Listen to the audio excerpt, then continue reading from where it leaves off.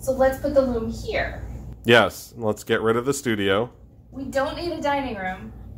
We can just stand at the counter in the kitchen. and we each get a counter. There we go. What do you think? Yeah. So this would be the warp beam and this would be the bench over here. It'll be less intrusive to where the family gets to sit and Right, watch can just kinda things. scoot the living room that way. Scoot the family that way. Got it. Get out of my way. I have fiber. Okay. And maybe we'll relocate the plants to the other window. Or to the bedroom of one of our children. They'll die. Just the stench alone. Oh! You're here. I love you, son. It'll be in his room. okay. We're gonna put her here. So Yeah. let's go get her. Let's go get her. Let's do it. The basic idea of a floor loom has existed since at least 4400 BC. A piece of pottery was discovered in Egypt showing a picture of a horizontal loom using treadles. Floor looms have changed in style over the millennia and across cultures, but the same basic principles still apply to the weaving itself. Weaving is an ancient craft. This is why you'll see disassembled looms discovered and thrown in the trash by non weavers who think it's just a pile of sticks and have no idea what it is. And sometimes, if they can't identify it as a loom, they'll say, I think it has all the pieces. But just like old spinning wheels, never buy a loom in pieces. Make sure you can put it together and that all the parts work if you're going to get a large loom like this because one missing piece can just be absolute catastrophe unless you really, really, really know what you're doing. But as a beginner, I would not recommend this situation. Mark, I found a loom. Really? Where is it? It's like an hour and a half from here in the hills of nowhere. Really? Yeah, can we go? Okay. How much was this loom though? It was 300 then. It was $300. This is what $300 in lumber looks like. I've got to get the frame built first. Right. So, Where is the frame? Like, if memory serves me correctly, this this is the whole frame. oh, and let's show people what you did when we took it apart. That was brilliant so that we can put it back together. Oh. So all the pieces are lettered.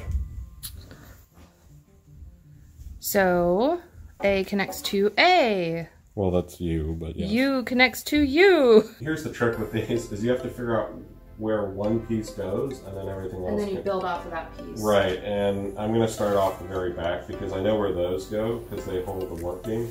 This? Yeah. No, the warp beam with the bracket. Yep. So I'll So, hand you that. and then this is goes this way because that's held in place by gravity. Got it. So what we're looking for And next. so then this is the other side. Some of the stuff's starting to come back to me. Carriage Careful. That looks pretty good. Um, cool. And then that goes there. Yeah, and these holes are so you can pull it out and you can move the bench to one side or the other. What do you think about this situation?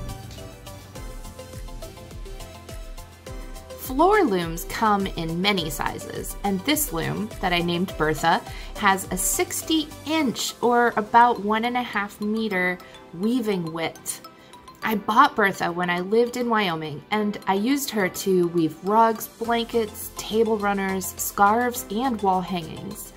But she hasn't been set up since we moved back to Illinois, and I'm interested to see how her maple wood and sisal rope warp brake has responded to the increase in humidity.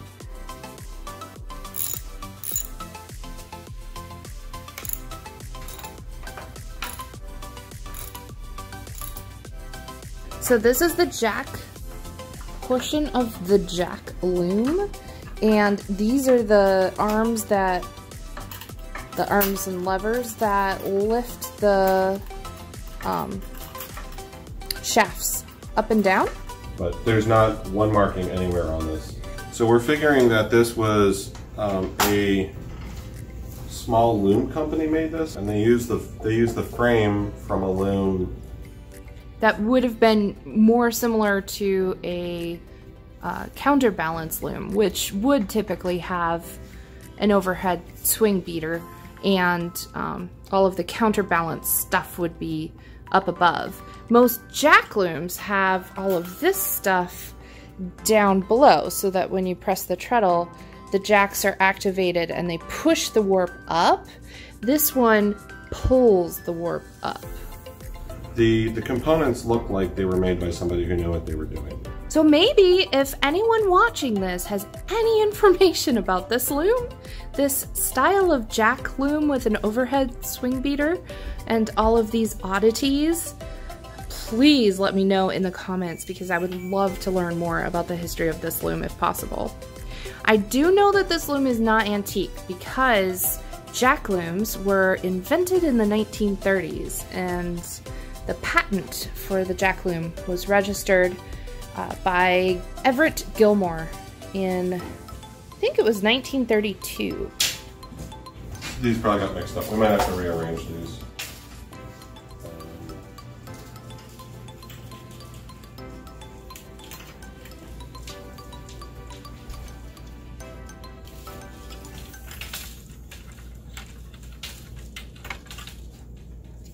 Those are all about even, but then over here, this one is just sticking way up.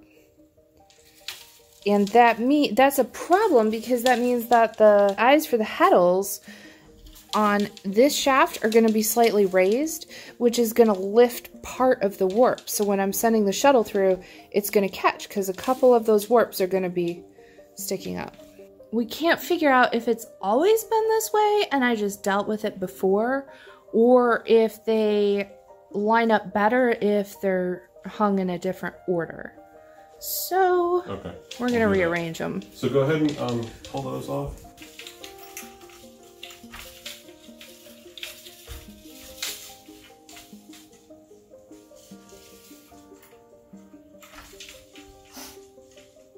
Less words. All even. All even. Okay, yeah, that's way better.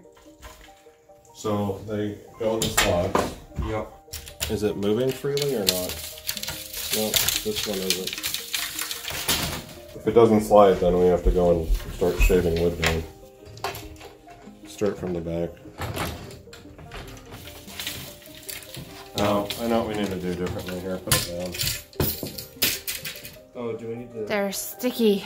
We need to put the top cross pieces on so that Now we it's squared up. the- yeah, let's do the rest of them.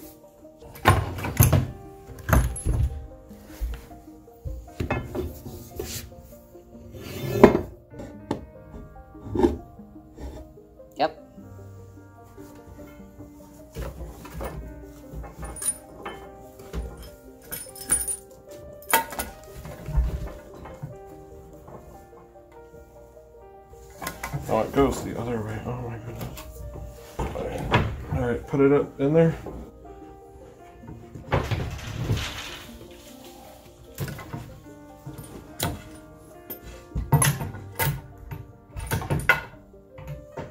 This has to go here. Like, that's the pivot point. Right. So, instead of trying to feed that all the way around the brake lever, Right. Feed the rope bend around. right. It is such a beefy brake to go on here. Like this this whole loom is so beefy. But then it's a jack loom. It's just confusing.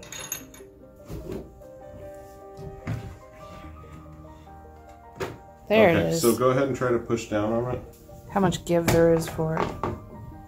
It requires a lot. So when this, when this, when she act, when she engages the brake, then she'll ratchet on this side, and when to to tighten the whole piece, It moves this the whole this thing. brake has to. Oh, I remember. yeah, I so remember how that there's works. quite a bit of t- so you, you want it crazy tight. When this thing's in use, it'll stretch out. But once you start weeding, we might have to do some tightening.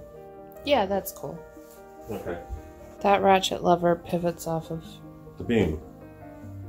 it has to be oh. on there with this. Do we seriously? Do we have to take the entire side off of the loom to get this piece on there? Because you can't just. We have to take the whole side off the loom to put that in. Everyone's tired. Even the dog's tired. Dog doesn't do anything. She just holds the floor in place. She's tired. I'm tired. We'll get it tomorrow. It's okay. Good morning, friends. I hope you all enjoy your new window. I'm trying to summon fall by drinking cinnamon apple spice tea. We did as much as we could last night, but we were tired, so we went to bed. There's more to do uh, because she's not finished yet. So what do we still have to do, Mark? It's the handle for the ratchet on the uh, Cloth beam. the handle for the ratchet. On the cloth beam. The handle to ratchet the cloth beam. There you go. Okay, I have a plan. So I'm gonna pull this off. I'm gonna pull this out. I'm gonna pull this out. I'm gonna shove it in there, and then we're gonna put it back together. Got it? Ooh, she's off. Is this the right way? Okay, there we go. And now slide it out. She's all happy in there now. I know. Remember, this goes down, and this goes down. There it That's how is. works. When a piano is totally tuned up properly, it's under like 3,000 pounds of pressure. Piano's under 3,000 pounds of pressure? When it's totally tuned. I believe that. I wonder how much this would be under when you were doing like that, that Uh, red rug. Yeah, that red rug. That rug had a lot of tension on it. It was cranked.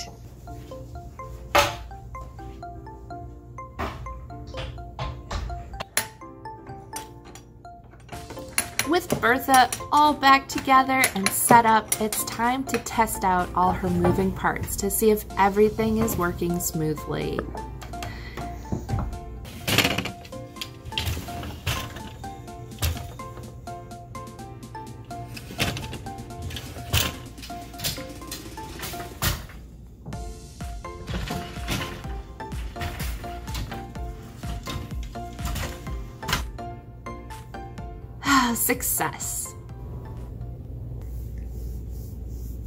Welcome home, Bertha. I've missed you. Thank you for all your help. You're welcome. I really appreciate it. I mean, this wouldn't happen without you. And of course, a shout out to our son Merrick, who was done after one day. He didn't make it back for day two, but he was a great help as well. I am so excited to start weaving some projects. So is this gonna be a weaving channel now? No. uh, we will have weaving videos, but this is not going to turn into a 100% weaving channel uh, for a couple reasons. For one, spinning is my absolute passion, and I just really enjoy helping people be able to spin, especially right now when people can't get to a lot of in-person classes. I will definitely continue doing the spinning tutorials but we will have some weaving content because what am I going to do with all my hand spun yarn?